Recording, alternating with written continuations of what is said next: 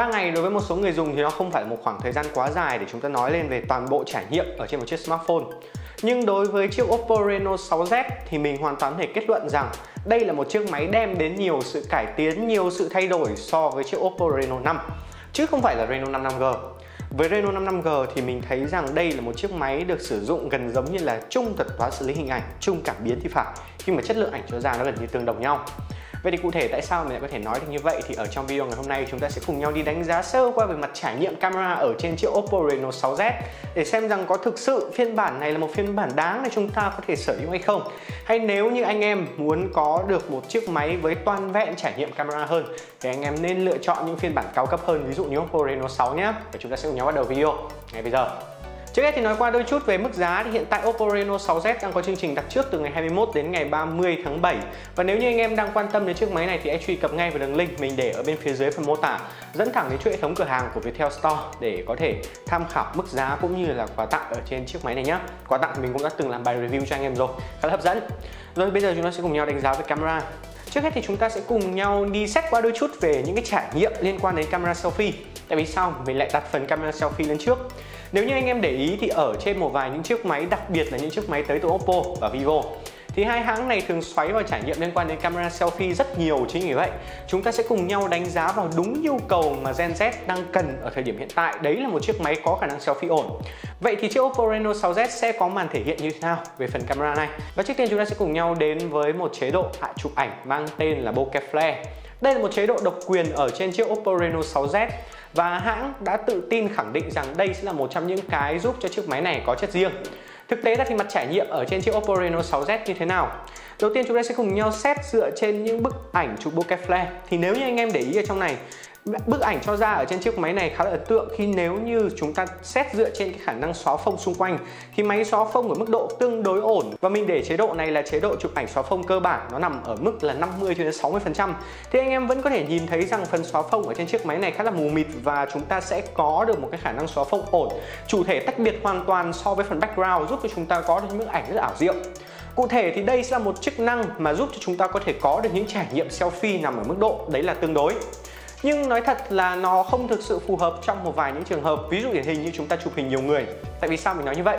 Nếu như anh em để ý thì ở trên chiếc Oppo Reno 6Z này chúng ta sẽ có khả năng lấy nét theo gương mặt chính xác là lấy nét theo chuyển động của chúng ta.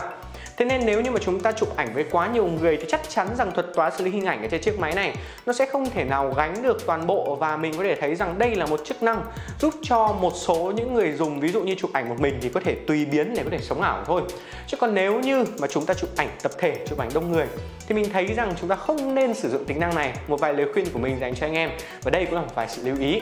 Ngoài ra thì nếu như anh em để ý thì thuật toán xử lý hình ảnh ở trên chế độ bokeh flare này nó cũng không chênh lệch quá nhiều so với hình ảnh selfie ở bên phía thực tế.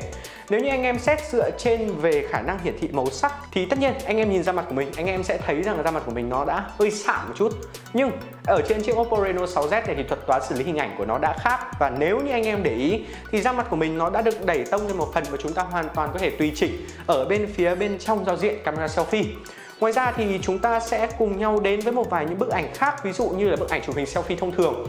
Thì nếu như anh em thấy ở trên chiếc máy này thì mình đã cố tình chụp hình ngược sáng để xem rằng khả năng tái tạo lại chi tiết ở trên chiếc Oppo Reno 6Z này như thế nào, thì câu trả lời của mình là khả năng tái tạo chi tiết ở trên chiếc máy này rất tốt. Tại vì sao? Ở trên màn hình preview thì khi mà mình chụp, mình thấy rằng đấy là phần background của mình nó đã xảy ra hiện tượng bị cháy sáng. Nhưng ở trong bức ảnh thực tế, khi mà mình chụp được thì khả năng tái tạo chi tiết ở trên chiếc máy này đã giúp cho bức ảnh thực tế của mình nó đã kéo đi được một phần nào đấy độ chi tiết ở trong ảnh. Thì khi mà chúng ta chụp những bức hình ngược sáng thì anh em sẽ nhận ra một điều. Đấy là phần da mặt của chúng ta khi mà tiếp xúc với phần ánh sáng mạnh thì nó sẽ gọi là nhận toàn bộ ánh sáng, nó hứng toàn bộ ánh sáng. Thế nên da mặt của mình khi mà chụp nó sẽ xảy ra trường hợp bị cháy. Nhưng ở trên Oppo Reno 6Z thì không. Thế tức là về cơ bản là chúng ta sẽ có một hệ thống camera selfie khá ổn. Và chế độ chụp hình bokeh flare ở trên chiếc Oppo Reno 6Z này không phải là một chế độ chỉ dành để quảng cáo nữa. Đây là một chế độ phụ trợ tốt cho chúng ta trong quá trình chụp ảnh. Bây giờ chúng ta đã xong về phần camera selfie. Đến với camera chính thì sao? Trước hết thì chúng ta sẽ cùng nhau đến với những bức ảnh ở trong điều kiện thiếu sáng. Nếu như mà anh em xét dựa trên những bức hình trong điều kiện thiếu sáng thì có một vài lưu ý của mình dành cho anh em. Đấy là ở trên chiếc máy này chúng ta mặc dù vẫn sở hữu chung cảm biến 64 megapixel, nhưng chúng ta sẽ có thêm một vài những chế độ chụp hình mới. Và cụ thể nhất, chúng ta sẽ có một chế độ mang tên là chế độ tripod. Ở trong chế độ tripod, khi chúng ta kích hoạt giao diện chụp đêm lên thì anh em có thể thấy rằng chúng ta sẽ có một khoảng thời gian phơi sáng khá là lâu để giúp cho chúng ta có thể kéo lại được chi tiết ở trong điều kiện bị thiếu sáng Thực chất ra thì theo quan điểm của mình, đây là một trong những chế độ giúp cho chúng ta có thể tái tạo lại chi tiết khá hiệu quả. Để cho anh em có thể dễ hình dung thì đây mình đã chụp một bức ảnh với camera thường, một bức ảnh với chế độ chụp đêm và một bức ảnh với chế độ tripod. Với chế độ chụp đêm thì anh em có thể thấy rằng đấy là chi tiết cho ra thì ừ đúng nó vẫn kéo lên khá ổn nhưng nó sẽ không thể nào chi tiết được và độ sáng ở trong những vùng tối của nó tất nhiên là không thể nào cao được bằng còn đối với chế độ tripod thì yêu cầu chúng ta phải giữ chắc tay, thời gian chờ đợi lâu hơn thì chi tiết cho ra tốt hơn và độ sáng của nó cũng sẽ, gọi là, ảo diệu hơn. Tuy nhiên, theo quan điểm cá nhân của mình thì anh em phải thực sự giữ rất chắc tay thì mới có thể sử dụng được tính năng này. Tại vì sao? Khi mà mình chụp, mình đã giữ rất chắc tay rồi nhưng mà nếu như mà chúng ta zoom lên, nó vẫn sẽ xảy ra trường hợp đấy là nó bị noise. Thế nên đây sẽ là một trong những cái mình cho rằng nó là một trong những điểm giúp người dùng chúng ta có thể có nhiều tính trải nghiệm hơn. Nhưng tính thực tế của nó thì không quá cao và người dùng sẽ phải sử dụng chiếc máy này nếu như chụp đêm với chế độ tripod phải rất chắc tay. Còn về chụp hình thông thường thì chắc hẳn là anh em cũng không còn quá lạ lẫm gì nữa. Nó khá là tối, thế nên là đối với mình thì nó không đạt chuẩn lắm. Mình sẽ không nói quá nhiều vấn đề này. Chủ yếu nó là một bức ảnh để cho anh em có thể làm ra được một hệ quy chiếu thôi. Và tất nhiên chúng ta cũng sẽ có thêm một vài những camera khác, ví dụ như là camera xóa phông. Thì với camera xóa phông, chiếc máy này sẽ có một màn thể hiện như thế nào?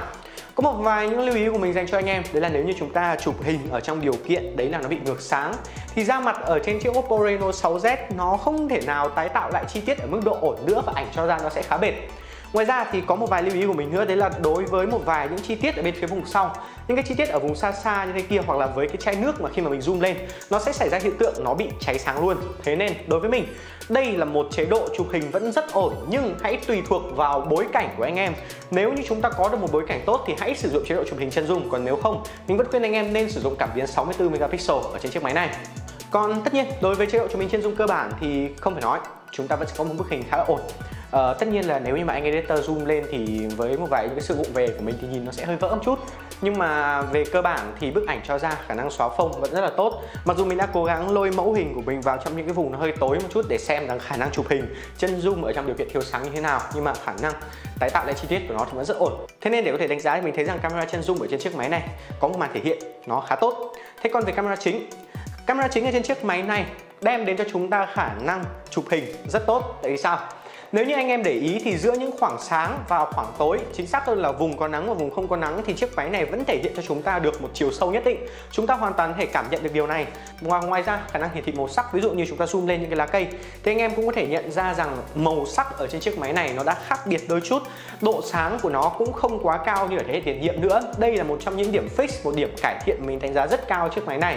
Khi mà ở trên hệ Reno 5 thì nếu như anh em để ý, một số bức ảnh cho ra bằng camera chính ở trên chiếc máy này nó sẽ xảy ra hiện tượng có mức độ sáng quá cao. Và chụp hình nó sẽ rất dễ xảy ra trường hợp đấy là nó bị noise trong một số trường hợp. Ví dụ điển hình như là chúng ta đã có đủ sáng rồi, thì khi mà chúng ta chụp ra với màn hình preview nó lại thành ra thừa sáng mất, chất lượng ảnh nó sẽ không được tốt và nhiều người dùng thì không thích điều này cho lắm. Thế có về khả năng quay phim thì sao? Nhiều anh em thấy rằng là chúng ta không có quá nhiều sự thay đổi.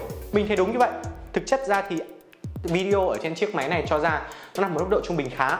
Nếu như mà chúng ta xét dựa trên khả năng quay video thì chiếc máy này đem đến cho chúng ta khả năng quay tương đối ổn nó không thực sự là quá chất lượng nhưng đối với mình ở trong phân khúc tầm giá này chúng ta hoàn toàn thể chấp nhận được. Và ngoài ra khả năng lọc âm thì tất nhiên mình sẽ không bỏ qua phần này đâu. Anh em sẽ chuẩn bị nghe thêm một đoạn mình thu âm ở trên chiếc Oppo Reno 6Z ngay bây giờ để cho anh em có thể tự đánh giá.